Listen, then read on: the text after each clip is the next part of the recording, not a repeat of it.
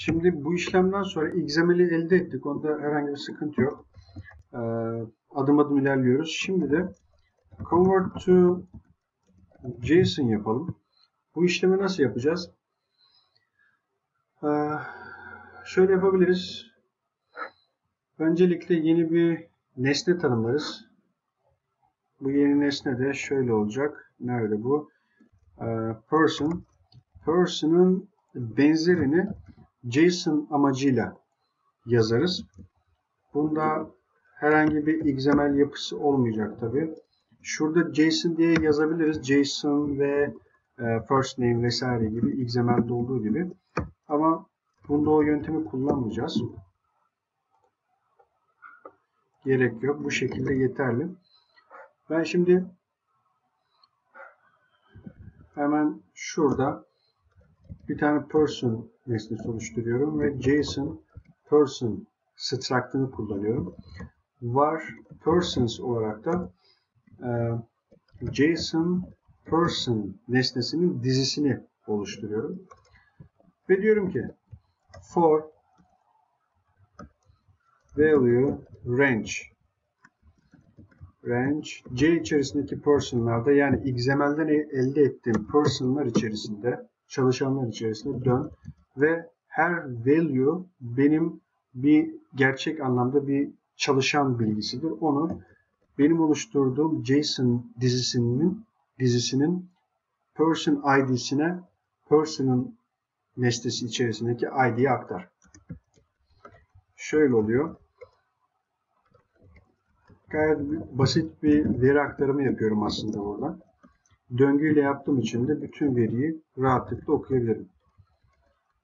Person, last name, value, last name, person, username, value, username şeklinde bir aktarım. Sonunda da persons diyorum ve append e, built-in function'ını kullanarak persons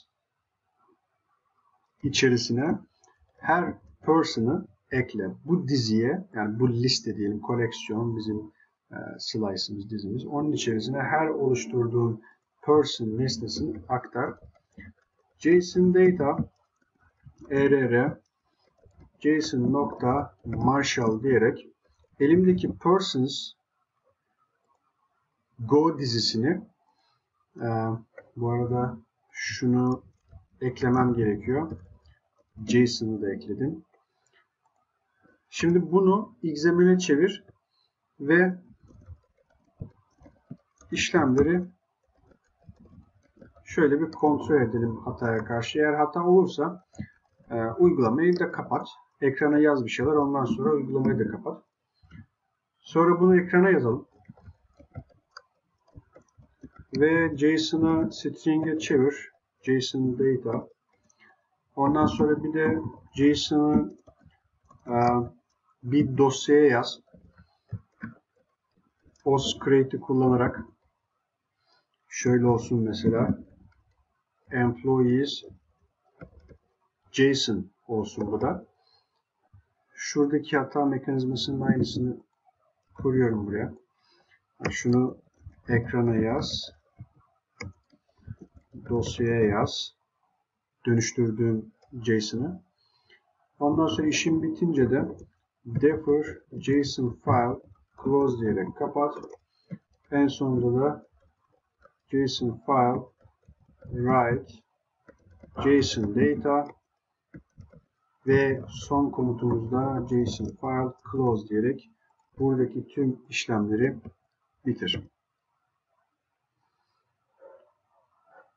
JSON file şunu yanlış yazmışım. Düzelttik ve tekrar çalıştırıyorum. Evet, öncelikle burada XML e, JSON dosyam oluştu. Bunu ekrana yazdım XML olarak. Sonra bir de dönüştürdüğümüz için e, devam kodunda orada da e, JSON'a dönüştürdük ve son olarak da dönüştürdüğümüz ve ekrana yazdığımız JSON'ı bir de dosyaya yazdık burada. Ve şu şekilde JSON dosyasını da başarıyla oluşturmuş olduk.